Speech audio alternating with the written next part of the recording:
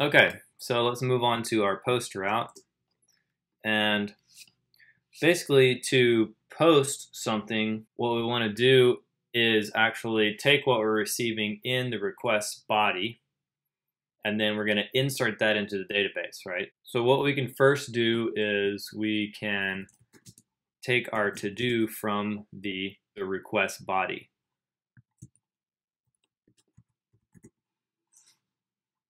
Okay, and that just saves that in the variable.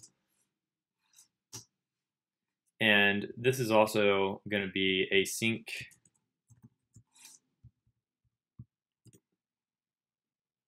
and we will try, do our try catch.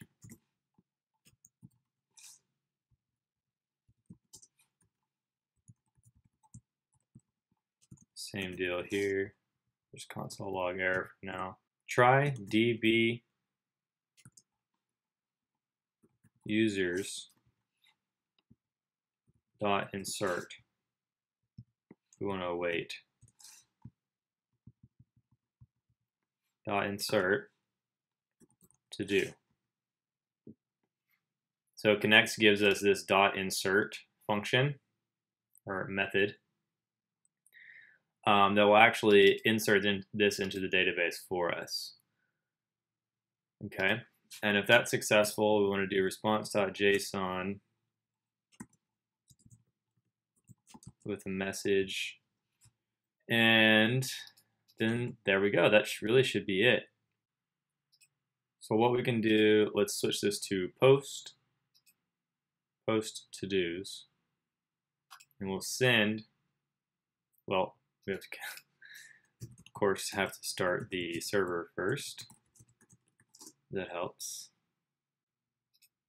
Send, and you notice we're just spinning here. We're just spinning, spinning, spinning, spinning. And the reason for that is because we haven't sent a request body with it. And on top of that, we haven't told this what to do if there is no request body. So what we can do is if not to do return, we want to return here because if this is the case, we want to just short circuit everything uh, that happens after, you know, that comes after that. We don't want any of that code to execute. So we want to say return response.json. You must include a to do in your request. So you want to kind of give the user some useful information here, right? And to make this a little nicer, we'll say, we'll actually add a status message, response.status 400, which means bad request. And if we try this again, and it really helps if you put the correct uh, the correct table name here, and so your errors will tell you no such table users. So let's save. Okay, so we're gonna do a little debugging on the fly here. So we can console.log to do, okay, because this is not working the way we want it to, but that's okay, that's part of web development.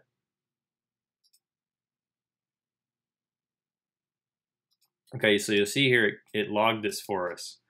So this logic, if to do evaluates to falsy, then do this is not going to work because we're showing up as an empty object and actually an empty object does not evaluate to be falsy.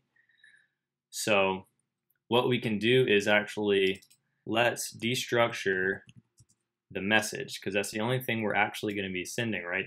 The ID is going to be handled by the database, so we don't have to worry about putting an ID in there, but we can pull this message out of here. And so we update this here. So if we don't have the message, we'll send that, um, we will short circuit and we'll send this error message. Okay, so let's make this a little more clear.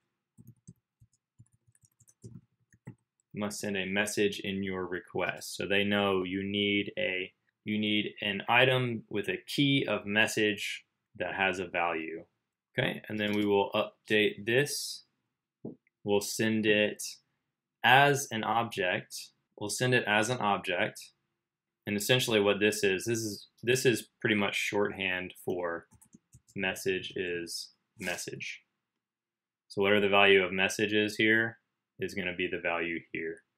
But we can write it shorthand. Let's go back to Insomnia and let's add a body. We want this JSON.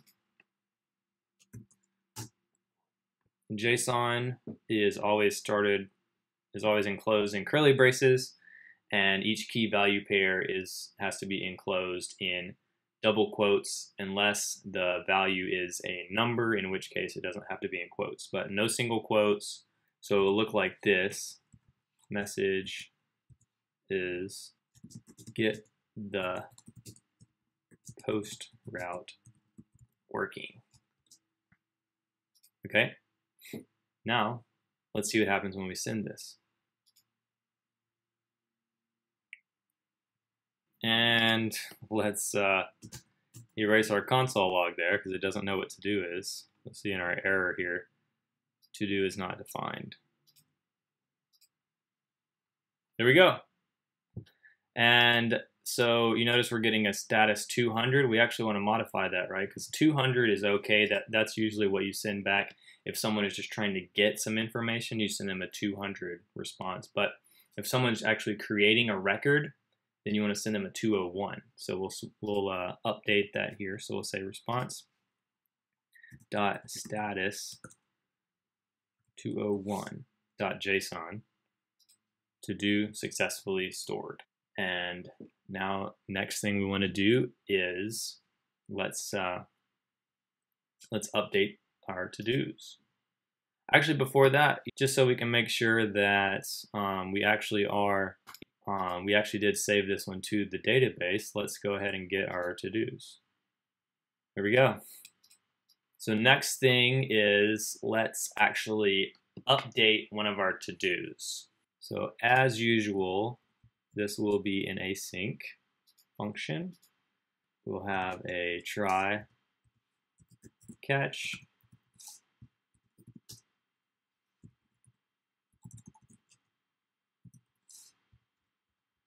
Okay, so since we're trying to update a singular item in the database, the first thing we have to do is actually find that item. And if you remember, whatever we put here in the URL after to-dos uh, forward slash is going to be the ID. So we can use that to actually look up the proper entry.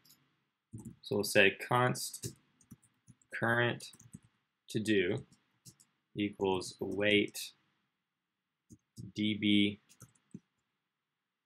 to dos.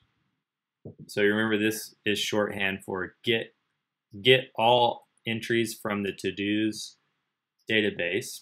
And then we also have a dot where method. And then we can pass some sort of some sort of evaluating statement into this. So okay, so we'll say where the ID is ID. So to get that ID, we have a params object from our request. Okay, and Knex is also very is nice enough to also give us the update function. And we want to update it with the message. We change this to a put and add a few extra exclamation points. 404 not. Well, that's because we didn't add the ID. So this was ID 5, remember? Okay, we're getting an error here. I think we just have a syntax error here. And you know what? It really helps if you actually send a response. So this one will give a 200 because we're not creating new a new record. We're just updating one. So 200 is fine. On this one, let's say message update successful.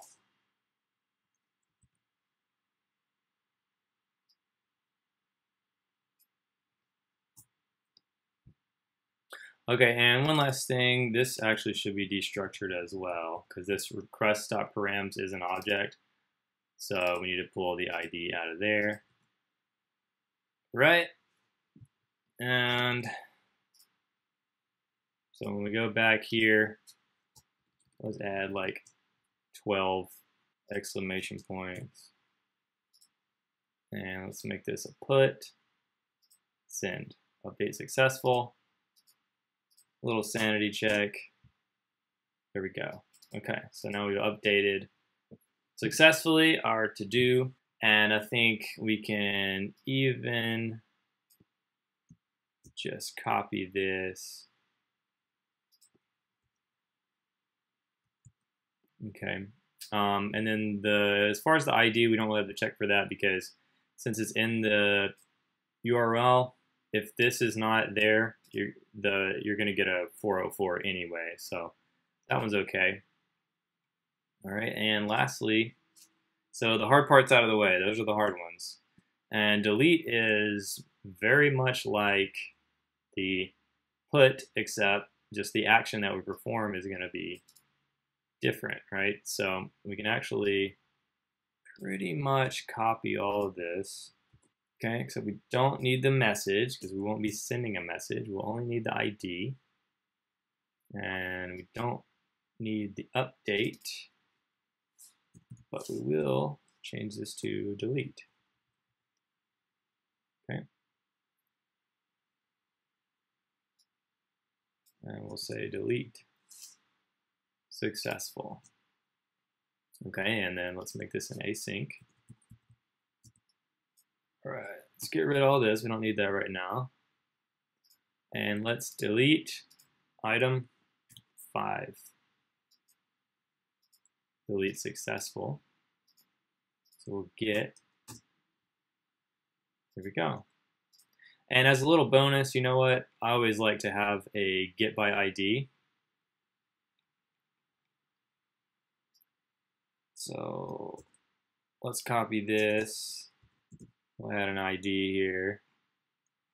And we can say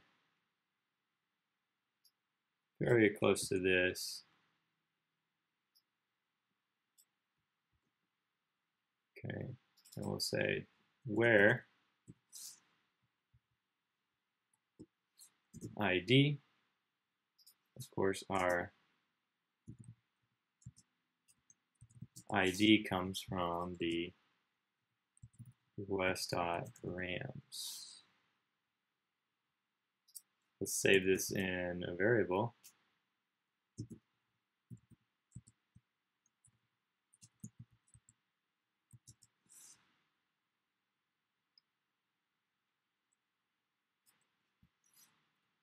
Make this a 200 and we'll actually send the current to do. Okay, save, we're not getting any errors.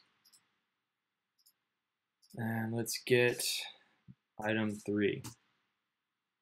Here we go. Five, what is that? Five is an empty object, so we can add a two. Okay, we got two. So, so current to do current to do dot length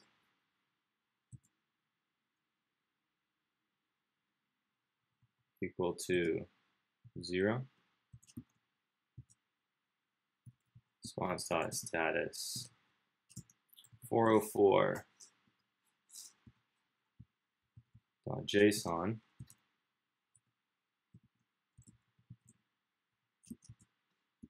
to do not found.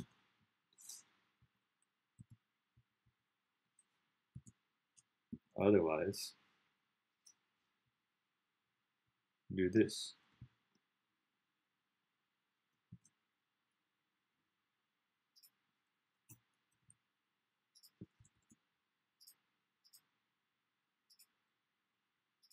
There we go. For, there we go. Call your mom. Always forget that one. Okay, there we have it. We have all we have actually five working endpoints now. It's pretty cool. Okay, we got our remaining endpoints built out. We have our post, we have our put, and we have our delete routes. So we're able to update, create, and delete now. And then we also threw in a fifth endpoint, which is a get by ID, which is super useful if you're trying to get a singular to do item. We have gotten all those endpoints tested out through Insomnia, through our REST client, Insomnia. And on the next video, which I hope to be the last video, uh, we're actually going to go back and pull up our React app again and modify those calls. We're going to use a dependency for our fetching called Axios, which really helps us with HTTP requests. And we're going to modify those where we're actually going to be calling to the database instead of just using local storage. All right, I'll see you on the next video.